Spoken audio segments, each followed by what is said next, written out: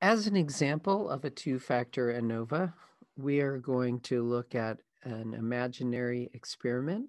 This is an experiment that you could actually carry out. However, the data that we are using this example are actually made up data. In this type of experiment, it is what we call a full factorial experiment. That means that for each of the factors that we have, we have every combination of level that you can have between those two factors.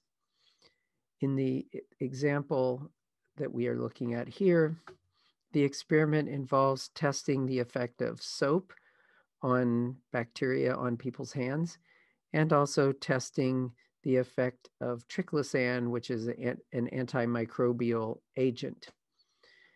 For both of these factors, we can have it present or absent.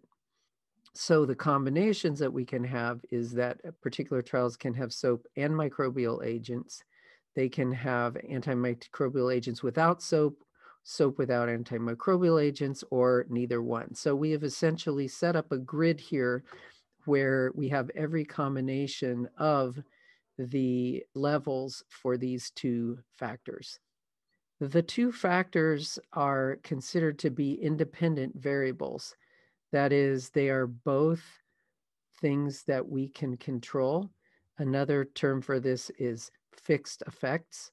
A fixed effect is one where the experimenter fixes the state of that factor as opposed to having that state be determined randomly and having us just recording what that state is. This is actually what happens in a randomized controlled trial where we assign treatments to the trials and control what the state of their levels are for each factor. Let's take a look at how we would set up the data for an experiment like this with two factors. We have two columns of grouping variables.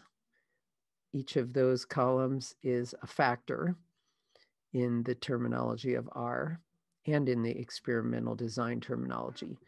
So in the first column, soap can have a value of yes or no. In the second column, triclosan can have a value of yes or no. And we have every permutation of those two. Soap, yes, triclosan, yes. Soap, yes, triclosan, no. Soap, no, triclosan, yes. Soap, no, triclosan, no.